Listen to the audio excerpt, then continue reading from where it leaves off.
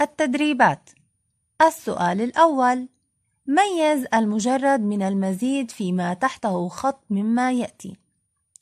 ألف. قال تعالى أعوذ بالله من الشيطان الرجيم. قل إنما أنا بشر مثلكم يوحى إلي إنما إلهكم إله واحد. فمن كان يرجو لقاء ربه فليعمل عملا صالحا.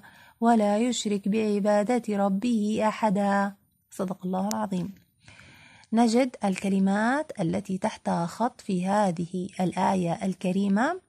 كلمة فليعمل. فليعمل الأصل الثلاثي لها عمل. قمنا بحذف لام الأمر وياء المضارع. نجد أن الأحرف المتبقية عمل. ثلاثة أحرف. هنا فعل مجرد. لا يوجد أي حرف من حروف الزيادة. كلمة يشرك. قمنا بحذف حرف المضارعة من أول الكلمة وهو الياء. نجد أن الكلمة أصبحت شركة. وشركة فعل مجرد. با. قال رسول الله صلى الله عليه وسلم اللهم إني أسألك الهدى والتقى والعفاف والغنى. كلمة أسألك. أسألك. عندما نقف على أحرف المضارعة التي درسناها سابقا موجودة مجتمعة في كلمة نأتي. نجد أن الهمزة من أحرف المضارعة يجب إعادة آه، الكلمة إلى الفعل الماضي. نقوم بحذف حرف المضارعة الهمزة ونقوم بحذف الضمير من نهاية الكلمة وهو الكاف. نجد أن الكلمة أصبحت سأل سأل فعل ثلاثي مجرد. إذا هنا أسألك هي فعل مجرد. جيم. يكثر السياح في مدينة البتراء. كلمة يكثر. يكثر فعل مضارع. يجب إعادتها للفعل الماضي. يكثر. نجد حرف الزيادة أو حرف المضارعة وهو الياء. نجد حرف المضارعة وهو الياء. يجب أن نقوم بحذفه. تصبح الكلمة كثر. كثر فعل ثلاثي مجرد. إذا هنا الفعل مجرد. السؤال الثاني. جرد الكلمات الآتية من أحرف الزيادة. كلمة دروس. الأصل الثلاثي لها درس. كلمة يصاحب. الأصل الثلاثي لها صحب كلمة مجالس. جلس.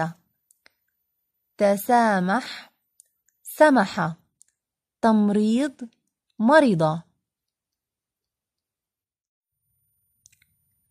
السؤال الثالث. أنشئ ثلاث جمل تحوي كلمات مجردة وأخرى مزيدة. سأترك لك المجال عزيزي الطالب لتطلق العنان لإبداعك ولأرى إبداعك في إجابتك على هذا السؤال. السؤال الرابع. ضع خطا تحت الأحرف التي تتكرر في كل كلمة من الكلمات الآتية. عالم معلم علامات استعلامات علماء معلومات عليم يعلمون. نجد هنا تكرار حرف, حرف العين واللام والميم. إذا الأصل الثلاثي لهذه الكلمات كلها هو كلمة علم. السؤال الخامس. استخرج مما يأتي كلمات مجردة وأخرى مزيدة محددا أحرف الزيادة. ألف. قال تعالى أعوذ بالله من الشيطان الرجيم. بسم الله الرحمن الرحيم. لا أقسم بهذا البلد وأنت حل بهذا البلد ووالد وما ولد. لقد خلقنا الإنسان في كبد أيحسب أن لن يقدر عليه أحد؟ صدق الله العظيم. في هذه الآية الكريمة نجد عدة كلمات. أقسم أقسم فعل مضارع. نقوم بحذف أحرف المضارعة في بداية الكلمة وهو الهمزة. تصبح الكلمة قسم إذا هي فعل مجرد. فعل ثلاثي مكون من ثلاث أحرف لا يمكن الاستغناء عن أي حرف في هذه الكلمة. إذا هو فعل مجرد. كلمة والد. والد اسم. والد. كلمة والد الأصل في هذه الكلمة ولد وهو فع اسم مزيد بحرف اسم مزيد بحرف وهو الألف. خلقنا خلقنا فعل قمنا بحذف الضمائر. أصبحت الكلمة خلق كلمة خلق فعل مجرد. أيحسب؟ كلمة يحسب. يحسب قمنا بحذف ياء المضارعة أصبحت الكلمة حسب وهي فعل مجرد. وأيضا كلمة لن يقدر. يقدر قمنا بحذف ياء المضارعة وهي فعل مجرد. با ما أجمل عالم الطفولة. إنه يتميز بالصفاء والبراءة ويضرب مثلا في الإنسانية النقية التي تمنح الطفل حقه في أن يعيش حياة هانئة ويتمتع بما تتطلبه الطفولة من لعب ومرح وأن يتلقى تعليمه في بيئة ملائمة ولا يزج في سوق العمل. في في في الجملة الثانية. نجد كلمة عالم.